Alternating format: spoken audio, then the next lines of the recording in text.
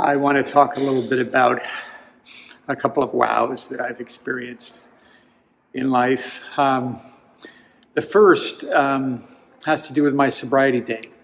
Um, I got sober in 1997 on March 6th. Um, and about uh, three, four months later, um, Lori uh, told me that uh, we were going to have a baby, a second baby. Actually, I think I knew this already, and what I was learning was the ultrasound had happened and we were getting a due date. And the due date just happened to be March 6th. I love that coincidence. Um, that is a, uh, a wow that just keeps on giving. Um, felt like a little uh, blink of the eye from the Eternal One.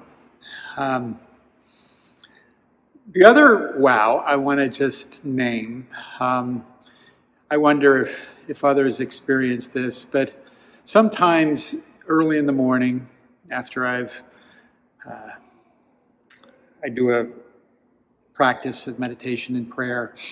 Uh, the dog will come and nuzzle up, and it's a signal.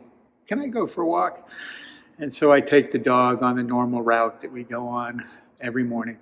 And sometimes I feel like I get a glimpse of reality as it actually is. That all the culture and all the noise is sort of brushed away. And it's just this vibrating moment of eternity, things as they actually are. And it's my own little wow that just feels special to me. Um, the last thing I want to mention was my last Saturday. I um, was alone. Lori wasn't feeling great, and uh, I was walking down to Columbia City to get some dinner.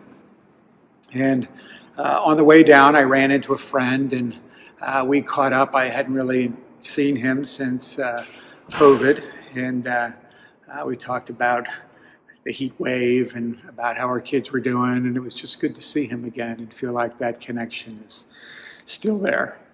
Um, and as I was walking through Columbia City, who should I just randomly bump into but Barbara Suter there on the corner. And we went and had dinner, and it was wonderful. Um, and later, uh, as I walked home, I just was sort of relishing these, you know, encounters. And my neighbors were just sitting out in the backyard and invited me to join them, and we just reflected on things. And as I re enter following COVID, I feel like this network of interconnectedness is starting to come back. Um, and so much of that is about our communion with each other. And I wanted to just take a moment to pray. Gracious God, as we re encounter each other, our neighbors, we give thanks for that connection and the network of connections that animates our lives.